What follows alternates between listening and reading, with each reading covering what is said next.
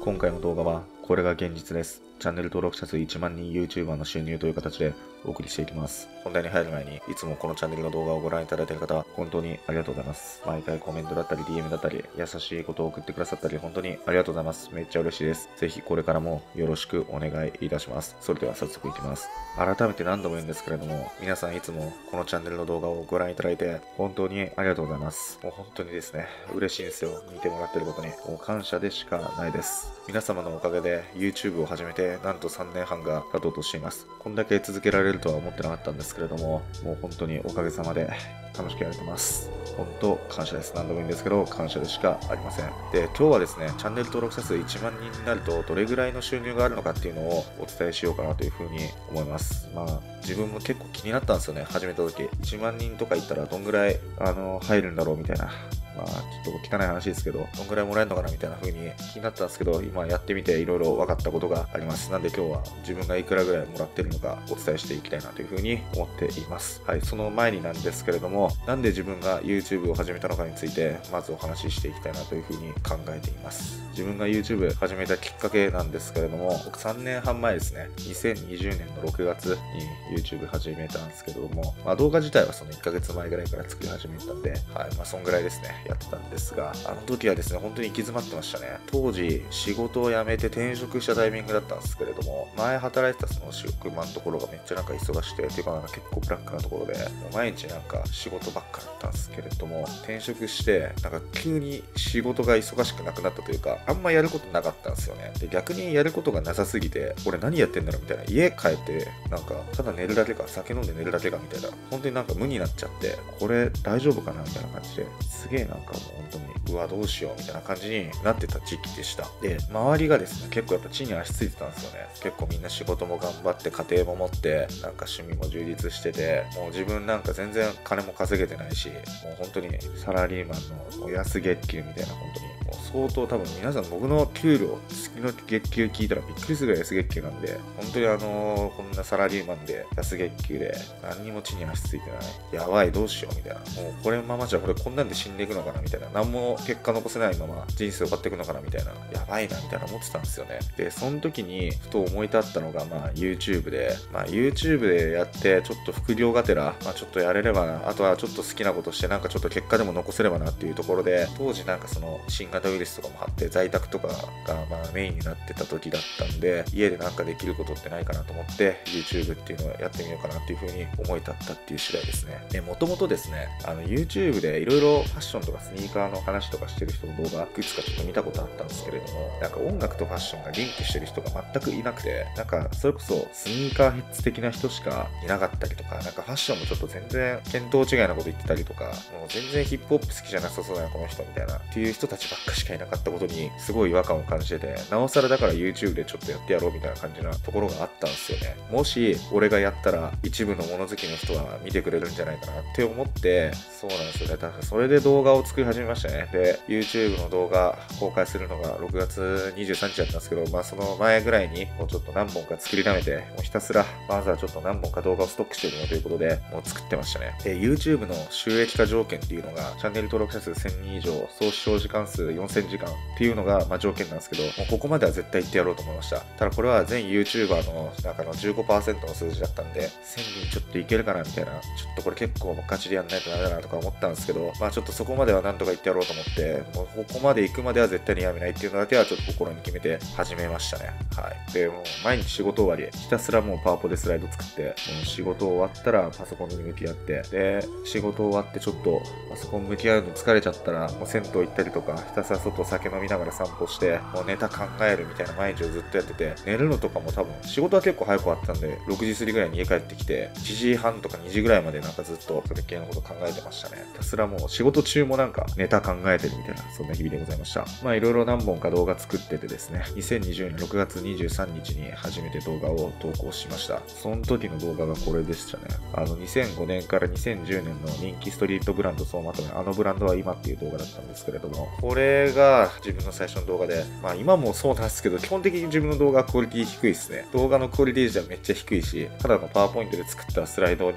対して自分が声入れて読んでるだけなんですけど、この動画は特にもうあれですです。今見るとひどいっすね。もう本当にカットもしてないし、もう喋ったものそのまま修正なしで吹き込んでるんで、めちゃくちゃ荒いんですけれども、はいまあ、そんな動画で最初始めたって感じです。ただ嬉しかったのは、最初にやっぱコメント何件かくれた人がいたんですよね、中には。自分なんかチャンネル登録者数この時だって、始めたばっかりから0人ですからね。0人。で、早速なんか動画出したら10人ぐらい登録してくれて、もうほんとコメントもらった時はマジで嬉しかったですね。ああ、くれる人いるんだと思って、しかもなんか結構当時の懐かしい話で、おもろいっすみたいなこととか言ってくれたりとかしてくれたんで、ちょっとこれはもう何本かぐらいは出し続けていこうと思って頑張るきっかけになりました。で、何本か出していくうちにコメントや DM、メンションいただくこととか増えてきて、本当にですね、嬉しかったっす。もう初期から見てくれた方、もし今でもいるんであれば、本当に感謝でしかないですね。もう特に登録者数100人ぐらいの時から見てくださってる方もしいるんだったら、もう僕はビッグリスペクトって感じですね。いや、本当嬉しかったです。僕あの、こういう YouTube やってるのとかって、知り合いに言ってないんですよね。まあ今でもほぼ言ってないですし、まあ、バレた人にしかほぼ言ってなくって、はい、なんか言いたくなかったし、なんか俺は YouTube で頑張っていくからみたいなこととか言うのもなんか恥ずかしいし、そういうのなしで勝手になんか自分がやって、もしちょっとそれで知り合いとか、こいつ誰なんだろうとか気になってくれればいいかなみたいな感じで、基本誰にも言わずにこっそりずっと、まあ今でもそうなんですけど、やってます。はい。で、そして2020年11月2日ですね、始めてから約半年、えー、ついにですね、チャンネル登録者数1000人目標達成して、もう本当にやっと行ったって感じでしたね。この時はめちゃめちゃ嬉しかったです。やっぱ1000人行けば、その収益化の条件にも満たすんで、いや、本当にここだけ目指してやってきたんで、半年ぐらい経って本当に嬉しかったっすね。いや、もうこれは、もう今でも覚えてます。本当に感無量でしたね。もうこれを待ってたみたいな。もう本当にやっとやり続けてよかったなって感じだったんですけれども。で、まあその後もですね、もう皆さんからのコメント、DM、もう本当に励まされてですね、毎日コツコツ動画作るっていうのは、もうやめずに、もう今でも来てるって感じです。で、いろいろ結構途中で伸び悩む時期とか、もうネタに困った時期もたくさんあったんですけれども、まあなんとかですね、始めて、3年ぐらいですかね、2023年3月23日なんですけれども、まあ遅くなったんですけど、念願のチャンネル登録者数1万人達成することができました。本当にありがとうございます。ここまでやれたのは皆さんのおかげです。何度も言うんですけれども、いつも見てくださる方には本当に感謝でしかないです。マジで。ありがとうございます。本当に。マジで感謝です。言葉見つかんないですけど、それ以外に本当感謝です。はい。ということでですね、まあ、長くなったんですけれども、今回の動画の本題に入っていきたいと思います。チャンネル登録者数1万人達すると、月どれぐらい YouTube 側からもらえるのかっていう感じでございます。はい、じゃあ行きます。こんな感じです。実際の額は出せないんで、まあちょっとニュアンスでお伝えすると、はい、新品のエアフォースワン白白が1足と、プロクラブの新品ヘビーウェイトが1枚買えるぐらいです。いや、マジで本当にこんぐらいしか持ってないです。あの、動画投稿数と時期にもよるんで、まあ、ここに関してはちょっと一概に常に一定ってわけではないんですけれども、平均して鳴らすと、まあ、こんぐらいって感じですね。どうですかね？高いと思いましたか？低いと思いましたか？それは多分人それぞれだと思うんですけれども、まあ、正直1万人いって、もうここんな感じって。感じです。あの、金は稼げないです、正直言って全然。で、プラス、時給にならすと500円ぐらいでしたね、僕の場合は。あの月平均だいたい7本ぐらい僕動画投稿してるんですけど、1本あたり、まあ作業時間5時間ぐらいです。まああの、喋ったりとか、あの、まあネタ作ったりとか、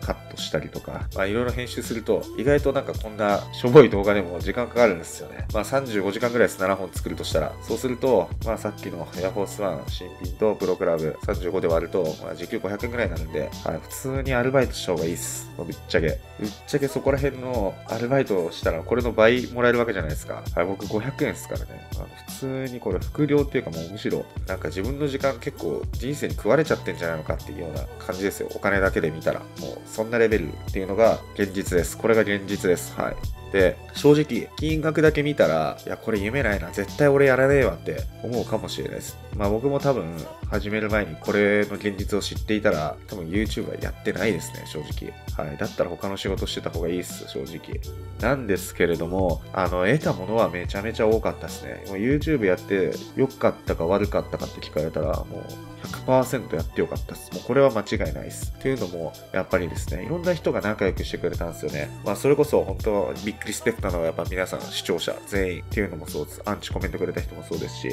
つも優しいコメントくれる方もそうです。あとやっぱ動画やってて、ちょっと俺も出たいっすみたいな言ってくれた人がいたっていうのがめっちゃ嬉しいっすね。もうそれこそ、もうのりきよさんとも曲やったディスリーさんが確か僕に最初に声をかけてくれました。メッセージで。ちょっと一緒に動画作りたいっすみたいな。あれはマジで嬉しかったっすね。いや、超ありがたかったっすね。そういう話来たのは。あとは、ナイトレイのマニアの RD さんだったりとか、今自分がめちゃくちゃリスペクトしてる、めちゃ DJ 前 K1 さん、それこそハーレムのブリーンバックとかでも回してる K1 さんからもメッセージいただいたりとか、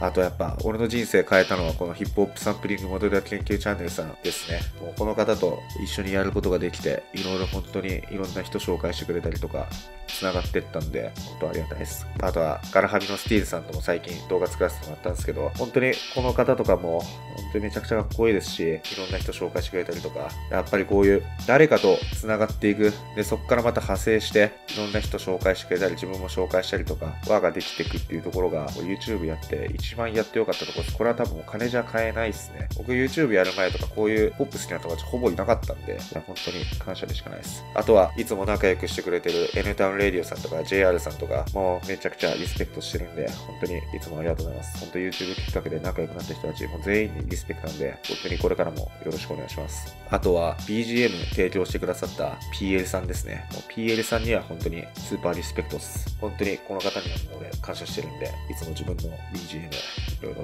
なんかこれ使ってよとか言ってくれたりとか、本当嬉しいです。この方とは音楽の趣味も合いますし、優しい方なんで、ぜひフォローしてください。あの、PL さんのビートはもう間違いなくかっこいいんで、これから要チェックっす。はい、てな感じで、まあいろんな人と仲良くなれて、結局その、イベントとかもやれたんですよね。N タウンレディオさんとか、ヒップホップサンプリング研究チャンネルさん、3人でイベント1回引き船でやらせてもらって、まあ、DJ イベントって形やったんですけど、まあそういうのもできたりとかで、本当 YouTube やっててよかったっすね。ということで、まあなんか YouTube をきっかけにいろんな人のつながりっていうものもできましたんで、まあ1万人の登録者いて、給料こんぐらいですけれども、まあそれ以上のものは得てるっていうことです。はい。それだけです。最高です。はい。ということで、まあ、今後も細々とやっていきますので、ぜひどうかよろしくお願いします。はい。ありがとうございます。本当に皆さんには大感謝です。よろしくお願いします。ありがとうございます。ということで、今回は以上でございます。ありがとうございました。恒例の最後の一言なんですけれども、今ちょっとふるさと納税どれにするか迷ってるんですが、おすすめのふるさと納税のプランあったら教えてください。まあもう、ふるさと納税やばい。そろそろやんないともう締め切っちゃいますけど、自分も急いでふるさと納税今からペイしようと思います。